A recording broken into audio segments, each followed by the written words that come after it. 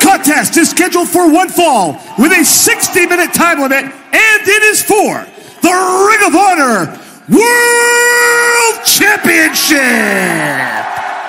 Boys!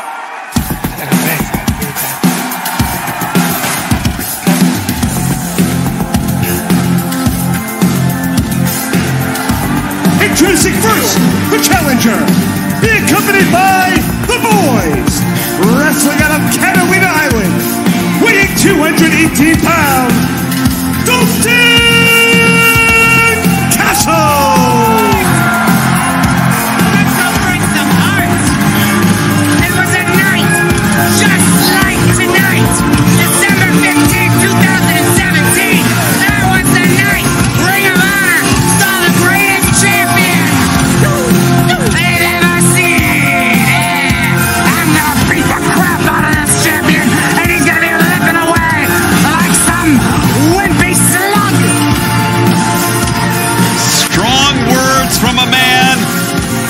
who has vision quested his second run to the top of the mountain. Dalton Castle sees himself defeating Eddie Kingston here tonight.